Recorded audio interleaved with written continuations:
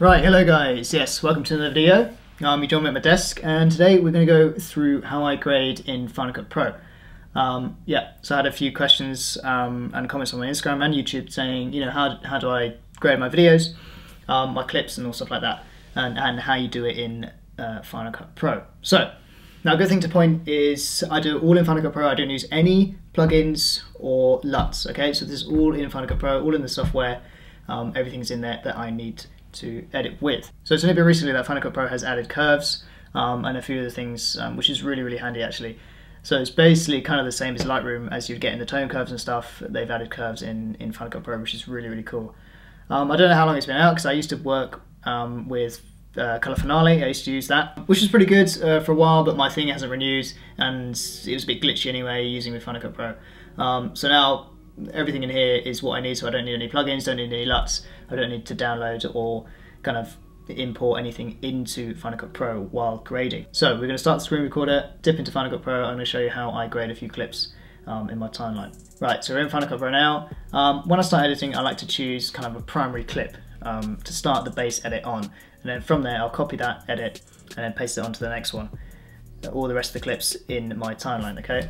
So all these shots were, were done kind of sunset time, well just before sunset actually, evening light, um, so you know kind of in the golden hour. So we're to try and maintain the highlights and not blow them out, you know, to get the sky nice, and then we've got to maintain the shadows. Now it's quite hard to do through camera because you either expose for the for the sky or expose for your subject. Um, right now it's looking quite good because it wasn't actually, you know, when the sun was setting, um, it was right before that, so it's kind of really nice night light we're working with here. So I'm going to choose this clip to be the, the primary clip I'm going to edit because, you know, even though it's a little bit overexposed, I tend to choose them because I can correct it perfectly and I know that's done, that's, you know, I don't have to worry about it. Um, and then paste the clip onto the others and then do minor adjustments. Normally, you know, obviously clips are all different to each other, so there will obviously be minor adjustments you need to make if you know you you um, edit one which is underexposed and you put that one on a clip which is overexposed. It'll be different, and you have to make little adjustments there. But anyway, I'm to choose the clip. This is the primary clip we're going to edit. So, top right corner, um, you see your, your, normal things here that you get on, on Final Cut Pro, but now we have this triangle button here, the green, red, and, and blue triangle button. So, what you're working with is color, saturation, and exposure. Now, some people will dive straight into exposure and, and correct the exposure here, but what I like to do is go here, add correction, so you've got color board, color wheels, and color curves, right? And hue saturation curves. So this is really cool. I go into curves straight away. Normally people do this after. I've seen people do this after, but I do it first because I like, I'm so used to Lightroom. This is basically the same as Lightroom with all the tone curves and everything. It's exactly the same in, in Final Cut Pro with curves and, and Photoshop and Premiere and so forth. Um, because I'm so used to editing curves. Um, in Lightroom, I go straight in here and do the curves, okay? So, as a general rule, if you know, if you're used to editing curves on photos, you'd create two or three points and kind of make an S curve out of that, okay? So the low end is going to be the blacks, midpoint is the midtones, and highlights is up here. So what I like to do, as this image doesn't look, it's looking a bit flat at the moment, go ahead and pull down the blacks here to get some contrast. Push up the point here at the end, the black curve, the black point, sorry, um, to get fade in there. Push this up a little bit, and now up here we can do highlights. We can pull it down to maintain more detail up there, okay? So, we've already added some mood just by doing those few points. It is looking a bit washed out. So what we can do is go back to the color board. Now I tend to switch between these quite a lot. Um, kind of the curves being my main kind of edit and then here I'll adjust accordingly to you know if, if the curves aren't giving you enough um, adjustments there you can come here and add a few more if you want. Um, exposure looking good. Saturation now don't really need to do anything here. You can boost it a little bit maybe 5 6 percent um, but as I've shot in just normal camera mode, um, the saturation looks okay. Now if I'm shooting in log or Cine 4 or anything like that, um, you're going to get a flat image through um, your camera and then import to Final Cut Pro is going to be a flat image, um, which is better for grading, but this these clips were shot just through camera. Um, but if you're if you are shooting S log, log, or anything like that, um, Cine 4, you do need to up the saturation quite a bit because it's going to give you a flat laid image. So saturation is okay, don't really touch that. I tend to do all the colouring in this, which is the colour board, or we do it in the RGB tone curves, okay? So master is going to be kind of the overall thing, so if you kind of want to boost the temperature warm or cool, you use this tab. So master, as we want warm for this one, would go over and kind of select 35 to 40 or 50 maybe um, to get the orange tones in and then we'll push up slightly as you can see it's warming and cooling there around 40 degrees. Do about 5% now in the shadows. I like to bring it over to 230 which is blue and then push up to get the blue in the shadows there. So you kind of you know that that kind of orange and teal look. Um, highlights. If still you want more in the highlights we can push up around 50, 50 degrees, and push up there. ACOs is changing the highlights 10%. Midtones, don't really need to mess with them. I like to keep them the same. Um, push up the shadows just a bit. There we go, that's nice. So you can see just, just with a few clicks, we've you know changed the image quite a bit. So we've got the nice warm kind of yellow in the highlights, and then we've got the deep blue shadows, okay? So that's pretty much it for that. And now I'll go back to curves, curves here. Um, and underneath you have red, green and blue. So this is the RGB curves, okay? So I tend to go for the kind of golden look. Um, it's what I like to do when editing video clips or, or even photos on, on, on Lightroom um, to be posted on Instagram or whatever. So to get the golden look, so you do exactly the same as the curve up here. You put your points in, pull down on the contrast on the blacks, so when you're changing this point, it will change the photo dramatically. Now don't worry about that because we've got green and blue here to compensate the red curve, okay? So we're gonna do the same points on every single curve here, okay? On the red, green and blue. Midtones, back up. So the white balance is corrected. Same on the green, pull down, you get purple, push up. This is where you get the gold in the highlights. And the blue is gonna compensate the whole thing, okay? It's gonna correct the whole image. Pull down, and push up, okay? And you can go, you know, and edit these how you like and fiddle with them kind of what kind of level you want.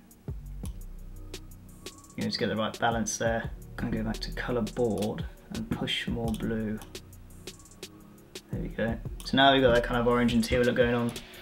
Um, very simple to do. Um, and you've got the gold in the highlights as well with the green here. And you can go further and put another point if you want and just make it more exaggerate. Same with each one. Cool, and then toggle on and off. You see, done a lot with the skin tones, a lot with the backgrounds, and so forth. And it changes the photo quite, quite dramatically. So, another thing I like to use um, is hue, saturation, and curves. Now this is a really cool thing. This is basically what you get in Lightroom. You have hue, saturation, luminance. Um, in a hue, if you toggle on different tabs, you can change the red hue, the orange hue, the, the blue hue, and, and, so on and so forth, okay?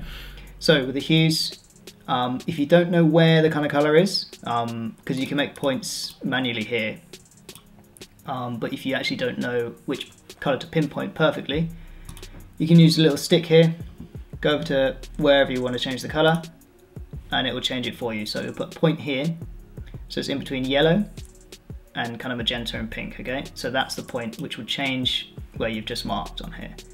So change the hue, go up and down, okay? So we're obviously not gonna do this because the skin tone is looking all right at the moment. We don't wanna make it look like the Grinch. Um, I'm just showing you what it does. So the hue saturation works the same. Um, at the moment her, her skin tones, the orange is looking a little bit too much. So I'm going to select the stick over here with hue saturation. It's going to change the saturation of the hues. Okay, so click where you want to click. We'll change the color. Up, it's going to make it more orange. Down is what we can desaturate. This is all about knowing to find that good balance that you want there. Luminance is the overall kind of brightness of the color. So we'll select again with the luminance stick in the same kind of area. It's done the same, so up or down. If we go down, it's going to add more kind of saturation, but make it a little more tan. So we'll do that, and then we'll go up here and lower the saturation a little bit more. Cool. I mean, that's pretty much as far as I can go with that um, when I'm editing. As you can see, we can go back here and click the effects tab, toggle on off, and that's what we've achieved. So kind of moody, nice deep blue shadows. We've kind of boosted our skin tones a bit, got that orange and teal look going on. Um, and that's kind of my go-to. Orange and teal look kind of, well, it's orange and teal or like golden look I try to achieve in my um, grading. I mean, there's a lot of things to do. we can go back to color board and we can get really eccentric. We think we can go, you know, that vintage look with the highlights around 200 in the highlights, 200 degrees. And with the shadows, we can go to red. And we can get that kind of vintage look, okay? We can master down a bit.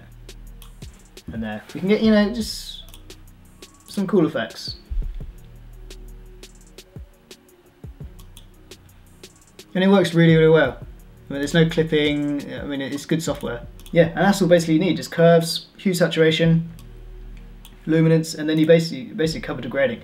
Now, if you have not noticed, or you have noticed, this thing on the left-hand side here, um, this is the Luma kind of workspace, okay? So in the image, it's going to tell you if you're overexposed or underexposed, or what eh, what's go, what data is kind of going on in the image, okay? So at the moment, as you see, the line of the highlights here is under 100. The basic rule is just to be around 100, under 100, and the shadows is to be on zero, okay?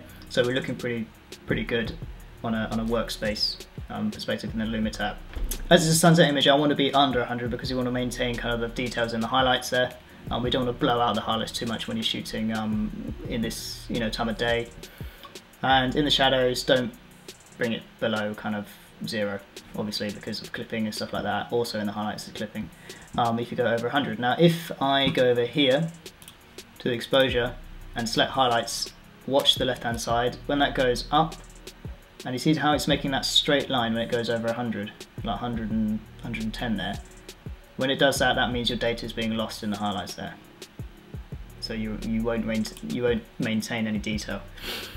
So I'm just going to go back and put my normal kind of, where was I? So highlights was 50, and shadows was blue. 230s around the blue, push it what was I about 18%. Um, go back to hue, saturation, curves. We're just going to bring this orange tab down and see what it does. That's a lot better, yeah. Do that. Cool. Toggle off the effects. Now, to copy the, the edit and post it on them, it's very simple. Copy. Yeah. Select the other clip. And then you would go to edit, paste attributes. Okay, so bring up this tab. Um, you don't want the volume on there if you're just doing for grading. So as you can see, effects, color curves. Um, I actually put this one. I don't know why that's there. That's, that's nothing. I accidentally clicked it. Color curves one, color board one, and hue saturation curve. So paste it on this. It will now put the grade on this here. So there we go. I would say maybe this is a bit too blue in the um, shadows there. So what I can do, go back to color board, blue, bring it down a tab, and now we're kind of back to normal white balance. Um, and it kind of matches the first one as well. So yeah, very simple. That's just basically what I do um, when in when in Pro.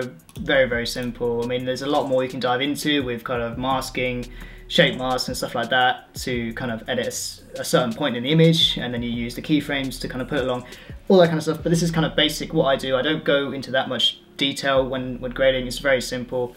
Um, always keep the kind of uh, golden look to my photos or go that vintage look, um, you know, whatever I might feeling on the day of grading. But yeah, that's kind of my thing. Very simple guys, but yeah, hope you um, enjoyed that little insight of how I grade it. I know some of you guys wanted to know how I do it. Um, that is how. Cool. I'll play the clip after this so you can see um, the whole thing in action. But yeah, guys, thanks for watching, and uh, I'll see you in the next one. Goodbye.